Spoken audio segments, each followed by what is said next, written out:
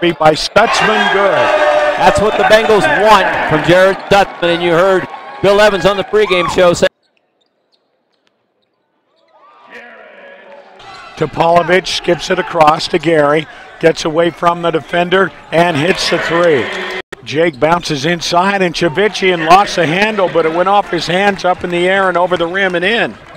Sean out top, Chavichian. Three, good. Nothing but, speaking of netting, across midcourt. Hits Winfrey trailing, and there's a steal by Moshan. He breaks away, and that is your forward power dunk of the left. Dribbles into the circle. Ball out. Stutzman hits another tray. And back out to Gino for three. Bounced high off the rim on the glass and went in. Banger to Moshan for an open three. Yep. 40. Back to Moshan, left corner, open three. Good. That was great ball movement by the Bengals.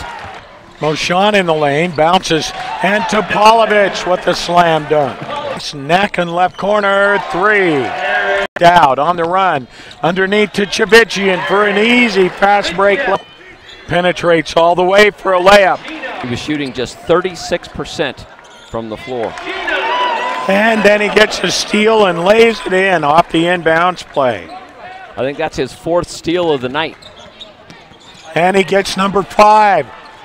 He knocks it away, gets the ball from Dowd, and he goes in.